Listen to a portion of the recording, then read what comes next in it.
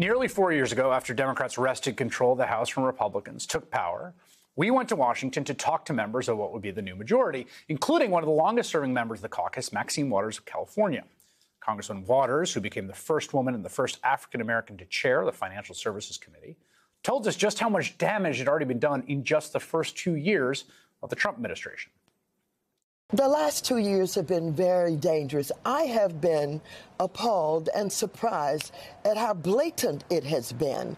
This administration uh, is not at all concerned about the welfare of the average family and the welfare of people who are struggling every day uh, to make a living. This administration is involved in many ways in trying to undo the work that we have done to try and protect the average family and homeowners. Congressman Waters was one of the strongest voices calling for the now ex president to be held accountable, which the House did by impeaching him twice, first time in history. She went toe to toe with leading members of his administration, including famously his Treasury Secretary. Is there some reason why I did not get a response uh, to the letter that I sent May 23rd? So, uh, Ranking Member Waters, first of all, let me thank you for your service to California. Being a resident of California, uh, I appreciate everything that Thank you've you done much. for the Uh, community I there. I don't want to take my time. I, I've, I also I have appreciated Re- the opportunity to meet reclaiming with you my time. several times Reclaiming my when time. we were doing our, our reclaiming my time. Just please go straight to the and M- answer. Mr. Chairman, I thought when you read the rules, you acknowledged that I shouldn't be interrupted and that I would have the Reclaiming my time. What he failed to tell you was when you're on my time, I can reclaim it. The Congresswoman is a favorite target of right wing media and of Republicans. Last year, Kevin McCarthy even pushed to censure her, which Democrats blocked. He also previously threatened to remove her committee assignments if Republicans took control. And Congresswoman Maxine Waters joins me here in Los Angeles tonight. It's great to have you here in person, Congresswoman. I'm delighted to be here with you. Um, you have uh, served for a long time in the United States Congress, and That's you have been both in the minority and That's you have right. been in the majority. so you're right. one of these people who who knows what it's like to be on either side of that. That's right. Uh, first, I want to start with what you feel you would write as the kind of uh, you know capstone of this majority that took took the majority in, in 2019 and will be ending in a few weeks. Do you feel it was a success, successful House Democratic majority? Absolutely. I think that we have done, you know, a great job when we're in the minority. I love the way we handle uh, the pandemic and the way that we were able to create, uh, you know, the PPP for small businesses and kept them uh, able to su- uh, support their uh, employees. I love the way we understood what was needed in equipment uh, for our frontliners, who like the nurses and the doctors. And so I think that when we're in the majority, we certainly do what is expected of us. It's funny you, you mentioned that. I want to actually follow up on that. PPP is an interesting program Yes. to me because I think in some ways it's it, it's it's somewhat maligned in the public imagination as a source of fraud. Yes. But it was very bipartisan. Marco Yes. Rubio was a huge champion of it in the, That's the right. Senate. That's right. And having interviewed a bunch of folks, cross spectrum small business owners, it really was like the central lifeline that kept places open Absolutely. during. Do you do you think? I mean, it's interesting to me that you cite that as one of your top accomplishments Yes. in the majority. Yes, absolutely. And I think what's important about this is that Nydia Velasquez and I, serving on financial services mm-hmm. and me chairing it, we were in positions uh, by which we could deal with what would normally have been an exclusion of the poor and the little businesses, mm-hmm. et cetera.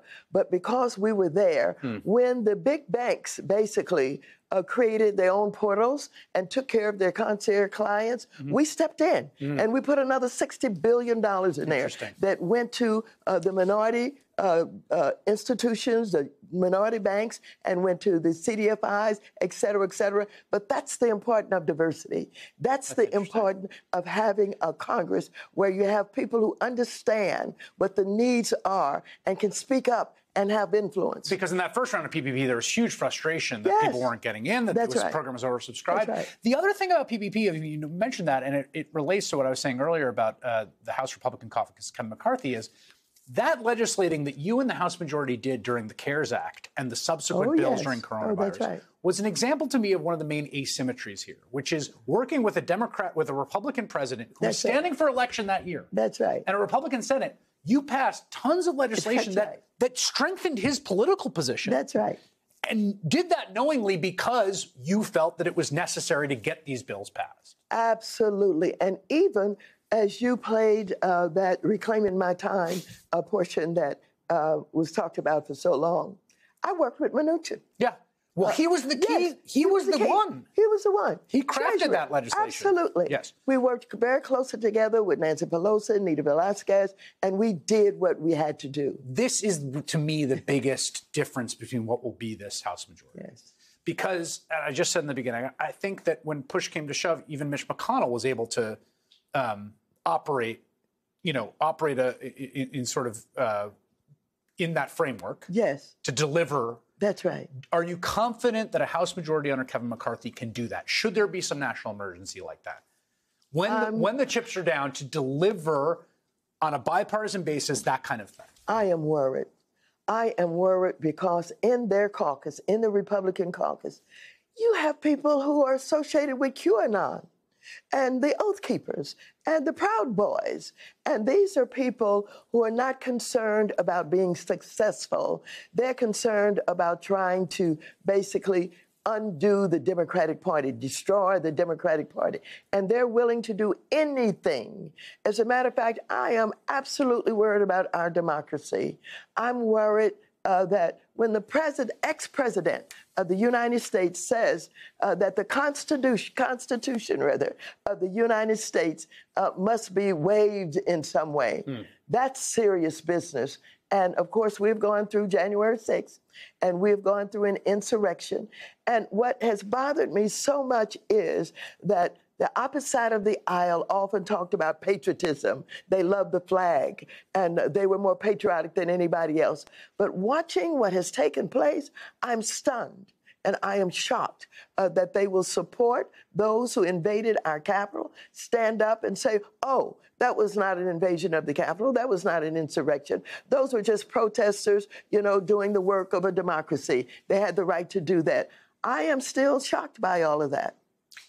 The ranking member in your committee, House Financial Services, Yes. Patrick McHenry, Yes. uh, will now become the chair, I assume. Yes, that's right. Um, and it was interesting. He, he's a, quite conservative, Yeah. but you had some kind words to say about him, and it was interesting. I saw you at a committee, sort of saying some kind words and hoping that he, he you know, he, he he proves you wrong about whatever skepticism he might have. That that those committee-based relationships still remain intact to a certain point, even am- amidst this context. I am working with McHenry now, and we were working right up until we had our break on stablecoins. And we were about to move a piece of legislation that we worked together on to ensure that we um, had some protection for investors and people who were into crypto. Well, there's going to be a big hearing. You're going to have uh, uh, Sam Bankman-Fried uh, before your committee Yes, uh, on the, right. the enormous crypto That's crash that's right. happened. We'll be looking for that. Congresswoman Maxine Waters, thank you so much for making time Well, tonight. thank you for being having me here. I'm just delighted to be with you. Great to have you.